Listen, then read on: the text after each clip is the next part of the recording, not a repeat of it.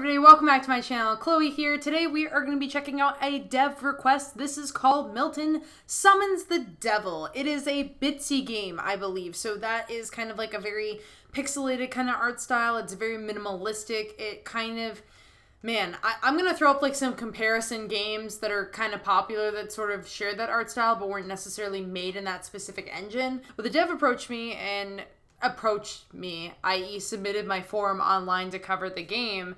And yeah, so this is a game about Milton. You play as a nine year old boy and you want to get revenge on your gym teacher. And to, to do that, you are going to summon the devil. Um, you know, which I can relate to because my elementary school gym teacher was a uh, monster. So that's great. You are nine years old. Today, your gym teacher made you go on the rope. Yeah. Oh my god, I can't even tell stories about my gym teacher. My gym teacher, okay. Okay, you know, I, I will tell stories, in fact, about my gym teacher because I have no idea how long this game is. Um, I in elementary school, I in the first grade, I I moved to like this new school. Um, so I was separated from like all the friends that I had in kindergarten, and, and my elementary school just just saying like it is the most miserable place i ever was and it was the most miserable i have ever been in school ever like if there was ever a place where i would never want to go back it is my elementary school. Um horrible horrible place. Not even kidding here. Really bad memories there. When i was in the first grade i didn't really know how to tie my shoes yet. I used mostly like velcro shoes and i just kind of avoided learning how to tie my shoes. Um just I don't know. For whatever reason I just didn't know how to tie my shoes. But my gym teacher at the time was this awful person who literally would yell at me to tie my shoes, would not teach me how to tie my shoes, would not show me how to tie my shoes, would yell at me to tie my shoes, would send me to like the par room, which was like kind of like the detention room, but they don't call it detention because of course that is a negative connotation with it. And I guess they think that's better, even though it's literally the same thing. You just gave it a different name. We're not that stupid. He would, I'm sorry, he would yell at my friends if they tried to help me tie my shoes. He would tell them that he would send them to detention if they helped me. So I was like first grade. I was like five. Um, there were other things that definitely happened um, with this gym teacher, like later on down the line with like other people, but he was not a good person. Um, so again, yeah. Um, my elementary school honestly was not filled with a lot of good people, but you didn't want to go on the rope. So now, summons the devil. Look at how little we are. Yeah, let's play. Oh no. Oh no. Hello? Oh no. Oh my god, I'm done. Oh, okay, I'm I'm really dumb. There was it was right there. It was very obvious. I was like up. there's there's hallways, Chloe. Bump into objects and interact with them. Find all the items, solve all the riddles, and summon the devil. Okay. I really like that. One of the candles for your unholy ritual. It's actually one of your mom's Yankee candles. This one smells like those gross peppermints in the crinkly wrappers. You were lacking the necessary ritual items. Okay. So I just stole my mom's candles like a boss. Can't go to bed. You stayed all night waiting for your parents to sleep. It's time to summon the devil. You rummage through your old toy chest. They're buried underneath a Rubik's Cube and some action figures, you find Mr. Hugs. He was your fuzzy best friend growing up, but you're still not sure if he was supposed to be a bear or a cat or a wolf or a dog. You give him a hug. You got ritual item Mr. Hugs. I don't want to sacrifice Mr. Hugs. It's a book you checked out at the library about the devil. You have to open it to the ritual page. Light the five candles, gather your tools, follow each ritual, follow the rules. When you perform each candle's task, the devil will come to do what you ask. There's more, but your mom ripped out five of the pages when she caught you reading it. Damn, mom. Hi, Milton. It's me, Beasley, your imaginary friend. I'm so glad we're finally summoning the devil. In order to summon the devil, you'll need all the ritual items scattered throughout the house. There should be 12 items still left to find. Okay, damn, just in my house, huh? You dig through your closet, and right where you left them are a pair of Coach Stevens underwear. They smell pretty weird, and you try not to think about how you got them. You got ritual item underwear. You look through all your books. There's a bunch of mystery novels and pamphlets from church and a hardcover, Oh, the Places You'll Go. But nothing useful. Dang it. Okay. Oh my god. I love this.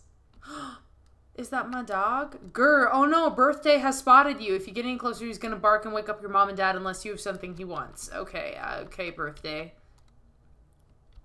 Wait, is this a washing machine? What the hell is happening? You rummage through the washing machine. Everything is still wet. But you find a wet piece of paper.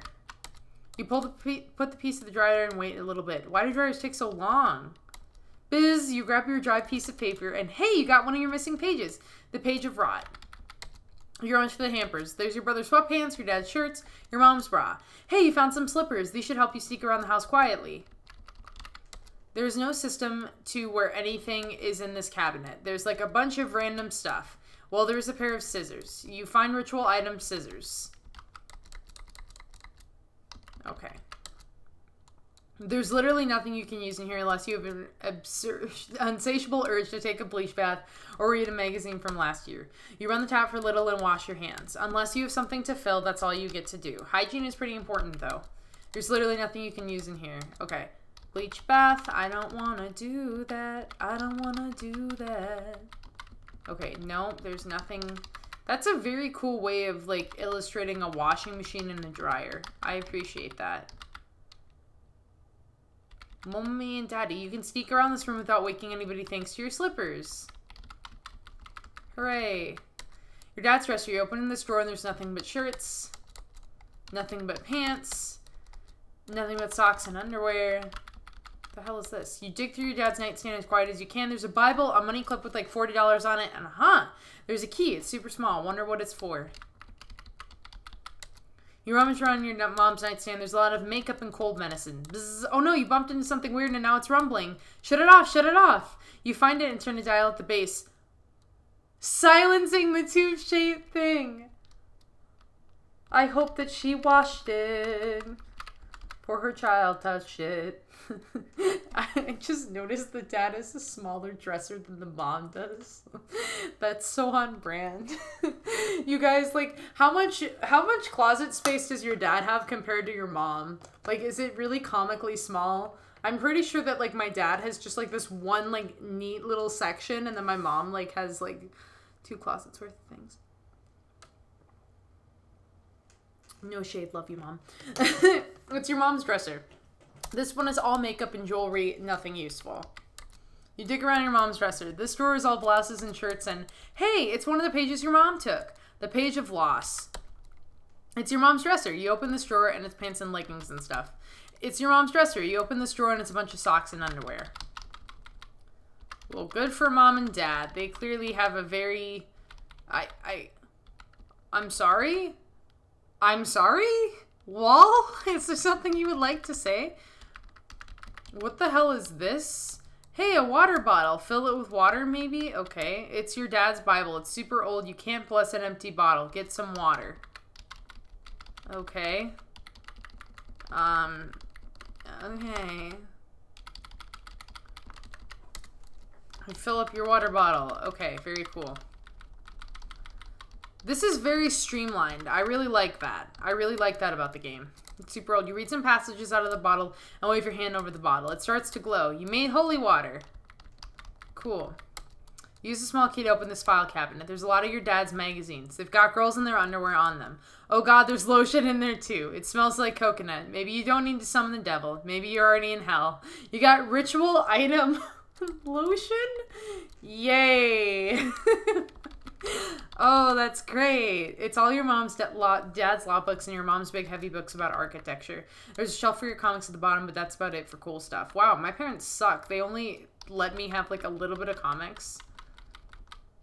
It's your mom's work table. The building she's designing right now looks like a big sofa. Your mom always listens to music while she works. You find a ritual item headphones. You dig through the trash can. It's super gross and smells like coffee, but you found another page. The page of harm. Your dad's sewing machine. He says it helps him relax after a hard day's work. He never wears any of the clothes he makes, though. Oh, hey, you found ritual item sewing needle. Interesting. Okay.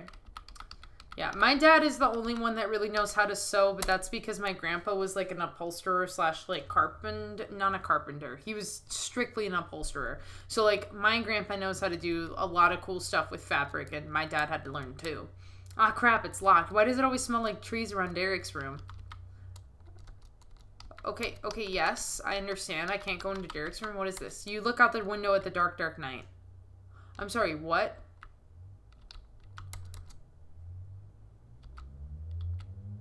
You find a key on the ground. Who would leave a key by the windowsill? The move's in the correct place tonight. The Dark Lord can be summoned, and Coach Stevens will pay. So cute. Oh my god, I love it. You can't fill up your water bottle anymore. It's full. Okay, well, fine. You don't have to go right now. Well, go. Your dad always insists on getting the super thin bulk toilet paper from the superstore. Maybe you will summon the devil to punish the makers of superstore toilet paper. You hold your breath and dig around in in the bathroom trash. It's so gross. At the bottom of the, under a wet paper towel, you find another missing page. The page of intent. The medicine cabinet is full of Derek's pills and your mom's creams and your dad's horrible aftershades. You found ritual item bandage. What is this section? Hey, it's birthday's bone. He loves this thing. It's covered in slobber and teeth marks. You don't really have time to take a shower. You do smell kind of bad, though.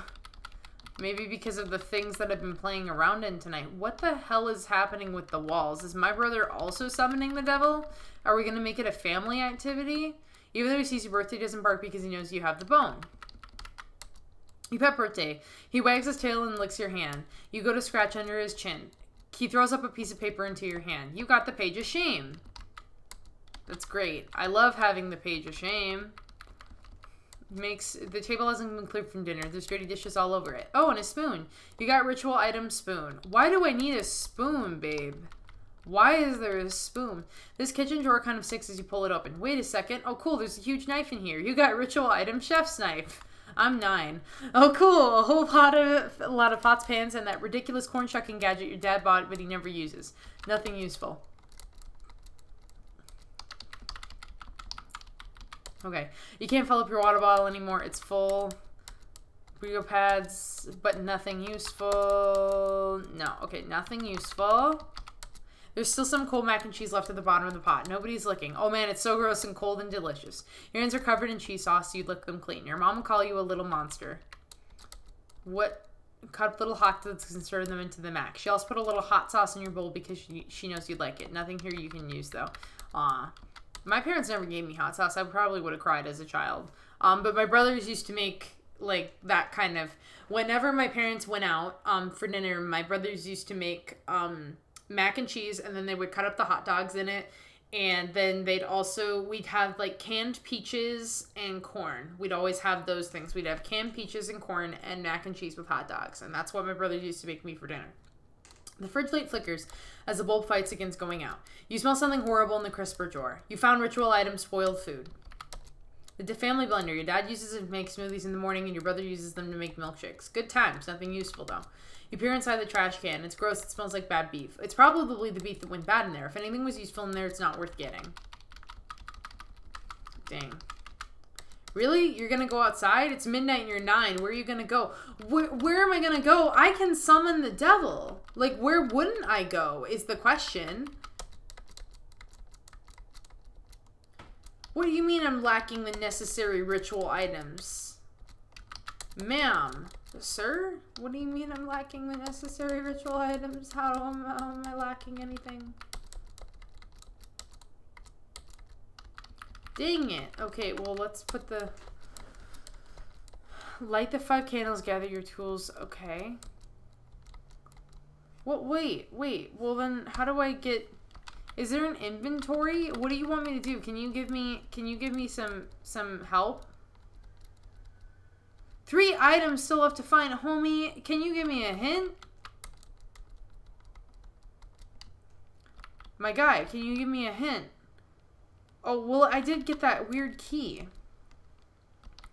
What is Derek doing in his bed? You go through your brother's dresser drawer. There's a big bag of grass, and hey, you found a ritual item lighter. You go through, okay. Nothing useful. Okay. What is my brother doing? I'm afraid. You dig through Derek's closet and you find a cool bathrobe. Well, for your purposes, it'll work. You found unholy robes. There's nothing in here but Derek's shirts and church clothes. These speakers rattle the entire house when your brother plays music. It's pretty rad. brother's old school and he listens to his music on CD. You press eject on the boombox. You got a ritual item heavy metal CD. Awesome. The devil loves heavy metal. what the hell? How do you know? Okay, what are we supposed to do? I think that your brother tosses and turns in his bed. He looks like he can wake up any second. Maybe don't do that again.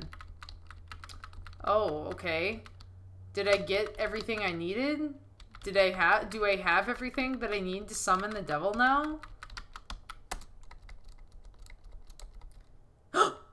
You have all that you need for the ritual. But what do I need to do? You approach the now giant candle of intent. A hideous, raspy voice belches from the flame.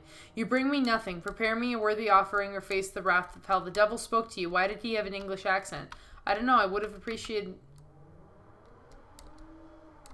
Wait, of intent?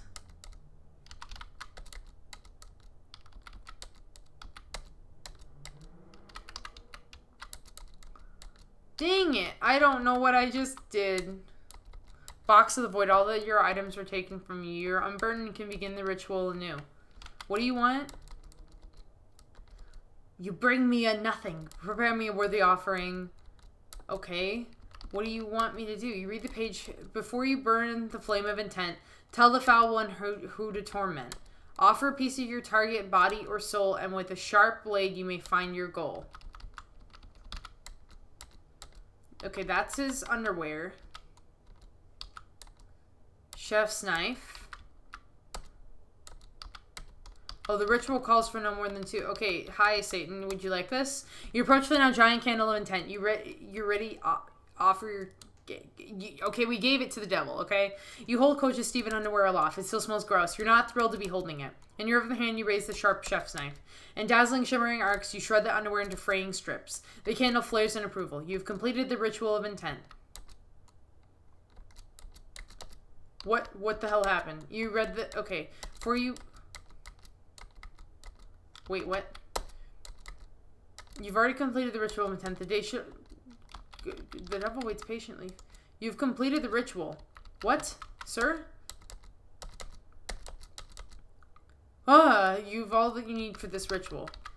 You read the page your mom ripped out. Before you burn the flames of harm, for pain in hell is no cause for alarm. With a swift sharp saying, offer him your hurts, then heal your own wound. This is the dark the dark one asserts.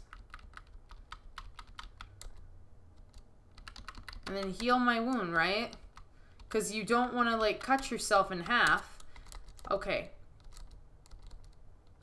You poke yourself in the finger with it. Ouch! You flick blood from your finger onto the candle. It sizzles but doesn't go out, so you apply the bandage to your finger. The candle flares in approval. You have completed the ritual of harm. Okay. You've completed the ritual. Okay, the ritual of intent. The ritual of harm. Okay, so this is all I need for this ritual. So you read the page your mom worked out. Before you burn the flames of rot, for vengeance is a meal best left forgot. Scoop up the rotten, for that is the price. Revenge itself satisfies, but seldom tastes nice. What the hell? Is this the rotten food?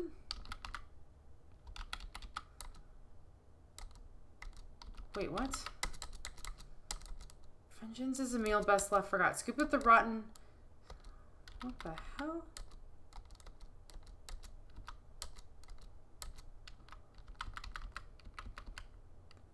Scoop up the rotten food. What do I need?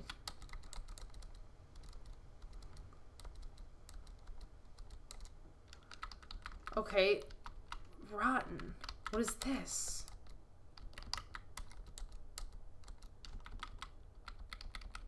Is this the, is this the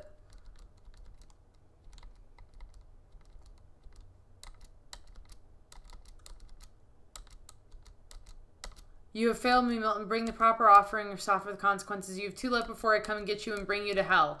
Oh no, what do you want? Okay, what do you want? What do you want, sir? You read the pit. Okay, for you burn the flame of rot. For vengeance is a meal best left forgot. Scoop up the rotten, for that is the price. Revenge satisfies, but seldom tastes nice. So wouldn't I just need to bring... What is this? Approach the spoon... Oh, it's just Oh, that that makes sense now. I was like, I'm so confused. Oh no. Oh, you eat it. Then the flavor hits you in ugly, bubbling waves. You try not to barf. The candle flares in approval. You've completed the ritual of rot. Okay, thank you, Satan. Thank you. Hooray, thank you. Appreciate it. Appreciate you. Okay, we've got two left. One of your one of the candles for your unholy ritual. Okay, blah blah blah blah blah blah. Okay, you have all you need for this ritual. What is this one one? You read the page your mom ripped up. Before you burn the flame of shame, no one may blush while playing this game. Take a sin of a loved one's secret humiliation and offer it up in conflagration? What does conflagration mean? Like actual genuine question? A sin of a loved one. So we know that we've got dad's dad's little underwear books. Um conflagration? I wonder what that means. I'm sorry. Extensive fire. So we, we need the match. Is this the lighter? Okay, we the lighter and the porn, right? There we go. Okay, so. I mean, the lighter and the adult stuff. okay, you hold up your dad's it's glossy and wrong. The woman on the cover stare into oblivion, emotionless. This is none of their concern. You take lotion. It is gross. You try not to think about it. You squirt it onto the cover of the magazine. You try to forget about what it looks like. You flip over to your brother's lighter and spark it. The flame dances in unison with the candle. Eager to rid yourself of it, you ignite it. There must have been some alcohol in the lotion because it goes up like the Axe body spray you stole from your brother to burn army men. The candle flares in approval. You've completed the ritual of shame. Hooray! And I'm full of shame now. Okay, one of the candles. Let's go ahead. Let's do it. Let's do it. Let's do it. Okay, what do you want me to do? You read the page your mom ripped out. Before you burn the flame of loss, for grief is a river all souls must cross. Bring forth a friend, closest one you know, and cut loose their heads, snip, let them go. No, he didn't ask for this. Oh, he didn't ask for this. Mr. Hugs didn't ask for this. This is disrespectful. I will never forgive you, Milton. This is disrespectful. I could never. Candle of Loss. You ready your offering to the candle. You give one last hug to, hug to Mr. Hugs. He was your first friend. You loved him very dearly, but vengeance must be yours. His plastic googly eyes seem to look up at you in confusion. Your heart breaks a little. You open wide the silver scissors and have a little soft of Mr. Hugs' neck into the crook of them. You hear the single, high, clear snip of the scissors, and the muffled cotton flop of Mr. Hugs' severed head falling to the floor. The saddest, shortest song you've ever heard.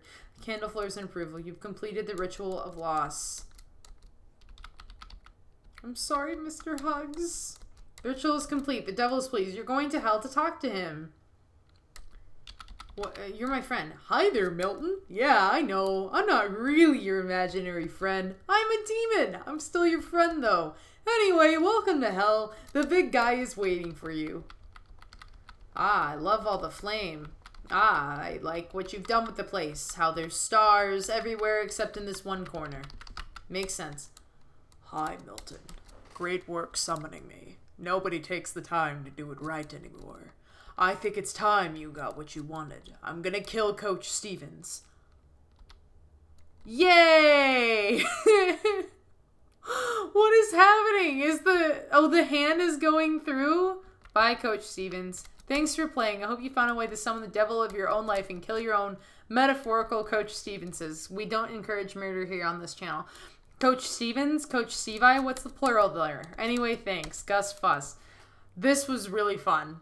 Okay, this was I really love Bitsy games because they're kind of like RPG Maker games, but they're like subtle and even though they're they're they're they're not like necessarily as graphically intense, but they still have this way to kind of make you feel unsettled. It's a really great way, I think, if you're getting into game development and like game design to really kind of play around and play around the system. It's it's like strip away all the bells and whistles of like a regular RPG maker and um, you can play something like this. And it's also just got a really cool retro look. So a lot of these games that do the Bitsy, especially like this one, um, the horror themes work really, really well with this. So I really enjoyed this. Thank you to the developer for bringing this game to my attention. This was such a fun game.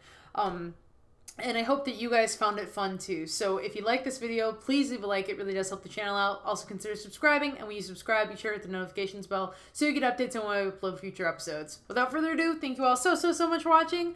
Bye! I would like to give a very special shout out and thanks to my patrons Ace Wolf 741, Deep Dive Dylan, D. Roberts, Brian White, Deevil J, Caleb Putnam, Robin Harper, Bob Conway, Cody Webb, and Maticus Sama.